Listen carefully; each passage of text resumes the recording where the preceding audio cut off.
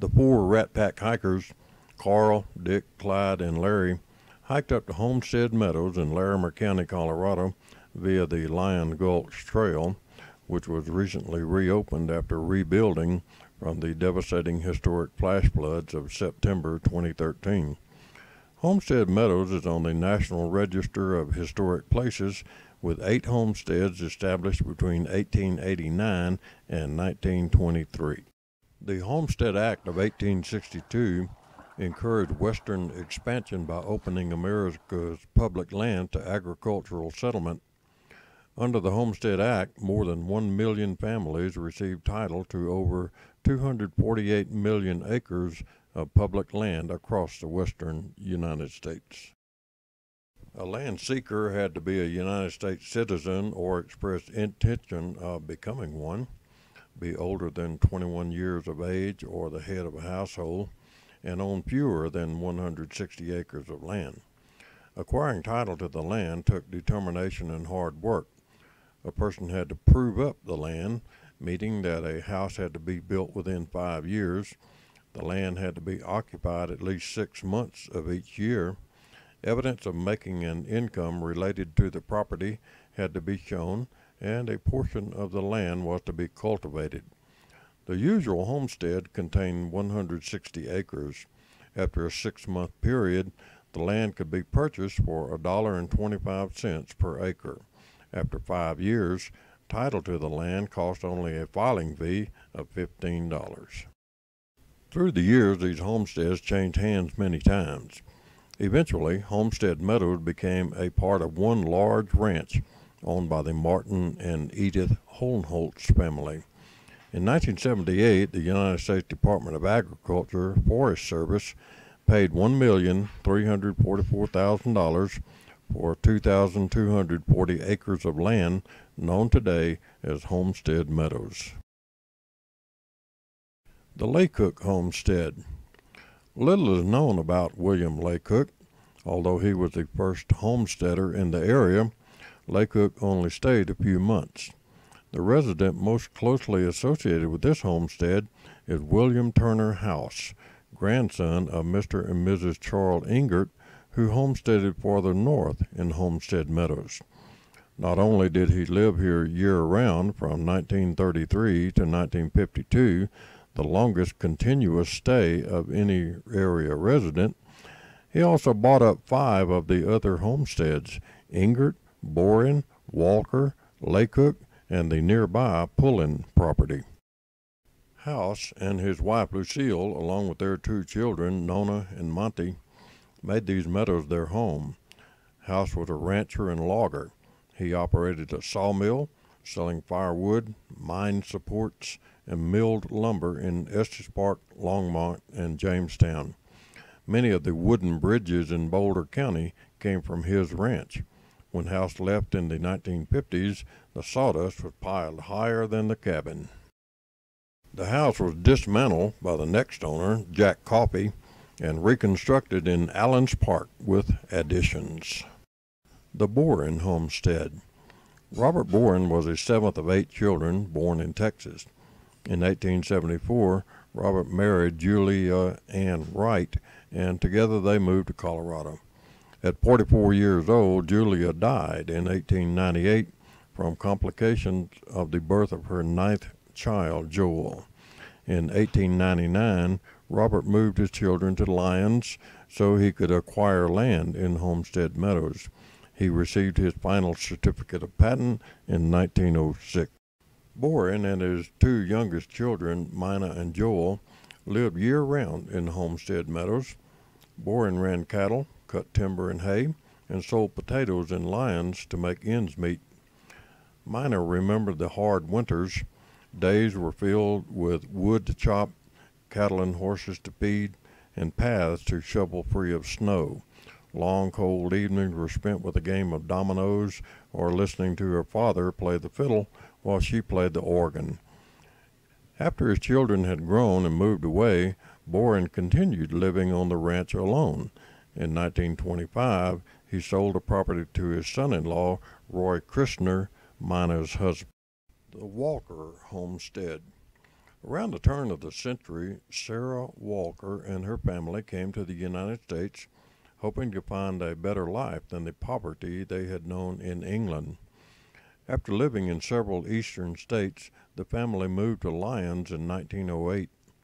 After a time, Sarah and her husband separated, and she took up the homestead. Sarah was the only woman to homestead here, receiving her final certificate of patent in 1914. A milk cow, chickens, and garden supplied most of her needs. A nearby spring provided plenty of water for her and the animals. Not having a horse, Sarah walked down Lion Gulch to Highway 36, hoping for a ride to Lyons to sell her eggs and cream. Carrying supplies, she returned home the same way. Sarah outlived both her children as well as her husband. After more than 15 years in Homestead Meadows, Sarah moved to Lyons. Thereafter, the property changed hands many times. For a brief period in the early 1950s, the cabin was used as a schoolhouse for the area's four children. The Brown Homestead. Brothers Harry and Cloyd Brown claimed adjacent 160 acre properties and received their final certificates of patent in 1917 and 1919. The Brown family owned this land for almost 40 years, which is longer than any original settler in Homestead Meadows. Cloyd and the rest of the Brown family moved to California, but Harry stayed in the mountains he loved, raising registered Hereford cattle. The herd improved in quality and became increasingly in demand as breeding stock. In 1906, he registered his outstanding Herefords with the Colorado Brand Commission for a fee of $1.56. Harry wed Susan Montgomery Murray and had two daughters, Imogene and Mary Jane.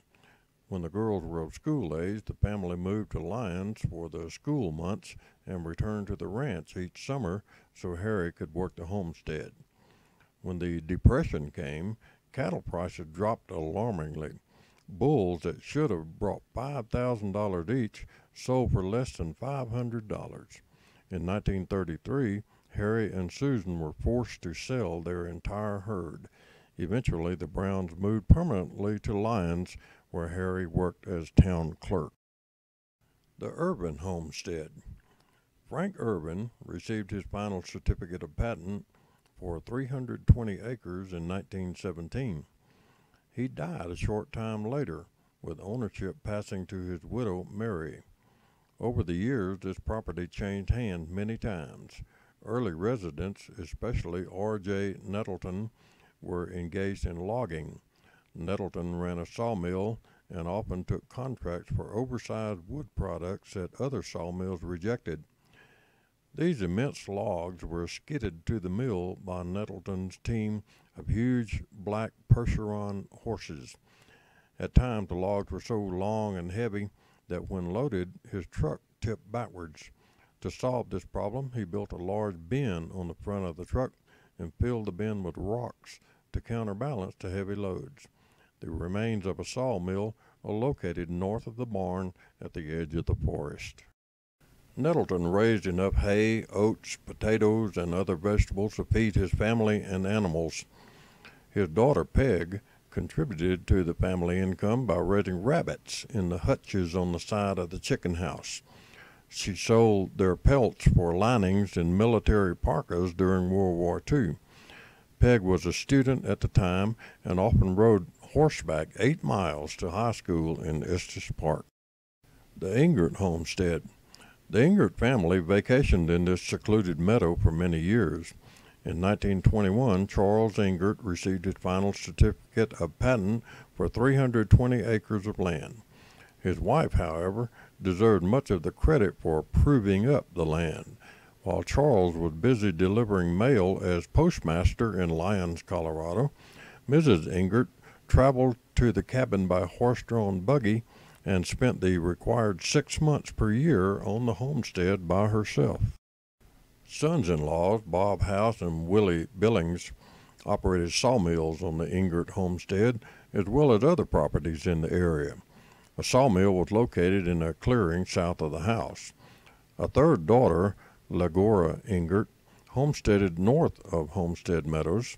In 1937, the Engerts sold the land to their grandson, William Turner House.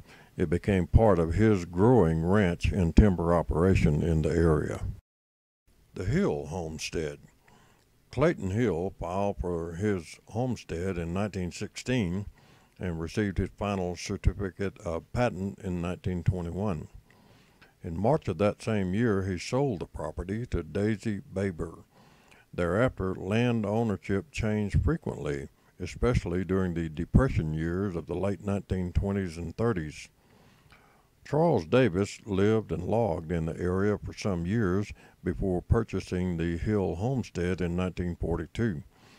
Like Davis, those who made a living in the timber industry usually had a specialty such as bridge planks, Christmas trees, mill lumber, or firewood. Davis Timber Crew specialized in caps for mine props. These caps were wedged between horizontal and vertical props so that the props would fit tightly and securely. Davis and his son Hal lived on this property until the mid 1950s. In 1954, Virginia Hill added this property as well as the majority of Homestead Meadows to her holdings. Ownership then passed to Isabel in 1957, to Hohenholtz in 1960, and to the federal government in 1978. The Griffith Homestead. William A. Billy Griffith purchased this land from the state of Colorado in 1923. In 1935, at age 64, Griffith went out to repair fences one day. He returned in the afternoon around 4:30, complaining to his wife of dizziness and partial blindness. After drinking a soda, he decided to go back to work. Griffith did not return home that evening. His body was found early the next morning, June 12, 1936, by a neighbor, Arthur J. Pennington, who, with Ted Rowley of Lyons and a son in law, and other friends and neighbors who had searched for him after he failed to return to his home from the fields. Following his sudden death, the Larimer County ownership records show that this parcel was sold at public auction to H.F. Springer in 1938. Little is known about the activities on this ranch except that during the 1940s, owner Roy Johns often experimented with growing different varieties of garden vegetables. Johns, who is best remembered for raising and marketing an improved variety of peas, lived on the ranch with his wife Inez. Here today, gone tomorrow. The Homestead Meadows National Historic Sites represent nearly a century of homesteading history in Colorado's Front Range. The vestiges of a once bustling community reveal the colorful lives of hard-working homesteaders and their families.